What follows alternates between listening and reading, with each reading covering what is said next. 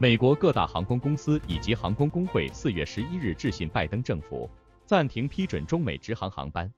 原因是中国航空公司仍然飞越俄罗斯领空，缩短航班时间来获得不公平的优势。在这封致国务卿安东尼布林肯和交通部长皮特布蒂吉格的信中写道。中国航空公司通过继续进入俄罗斯领空而获得的优势，而美国航空公司在二零二二年三月俄罗斯入侵乌克兰之初就停止飞越俄罗斯领空。信中呼吁暂停美国和中国之间的额外客运航班，直到美国工人和企业得到保障，在市场上享有平等的准入权，不受现行有害的反竞争政策的影响。除此以外。美国众议院在另一封信中也敦促拜登政府不要批准更多的中美直航航班，除非中国航空公司遵守现有的双边协议。美教育部长米格尔卡多纳四月十一日表示，白宫十二日将发送电邮通知给二十七点七万名借款人，说明累计七十四亿美元学贷已经获得豁免。据统计，拜登政府上台以来。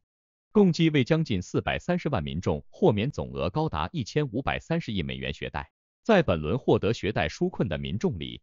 二十万六千八百人登记参加有价值教育储蓄计划学贷偿还方案。根据规定，借款人依照收入、家庭人数规模每个月偿还学贷，借款额度若在一万两千美元以下，按月偿还学贷，届满十年后余额就能获得免除。偿还学贷已达二十年或二十五年的六万五千七百名借款人，将透过以收入为基准还款方式的临时豁免条款，让尚未缴清的余额获得免除。另外四千六百名借款人为公务员，适用公共服务贷款免除计划规定，在政府机关或非营利机构服务十年，学贷余额即可豁免。华尔街日报引述知情人士的消息称。中国工信部指示该国电信运营商在二零二七年前逐步淘汰作为其网络核心部件的美国芯片。知情人士还透露，中国监管机构命令国有移动运营商检查其网络中非国产半导体的使用情况，并起草更换时间表。知情人士分析认为，中国政府之所以开始推动替换电信系统的美国芯片，部分原因是中国国产芯片的质量提高了，性能也更加稳定。有分析称，这一行动对英特尔和超微半导体公司的打击最大，因为这两家芯片制造商近年来为中国和全球其他地方的网络设备提供了大部分核心处理器。经过数月的审查，欧盟药品监管机构欧洲药品管理局四月十二日宣布，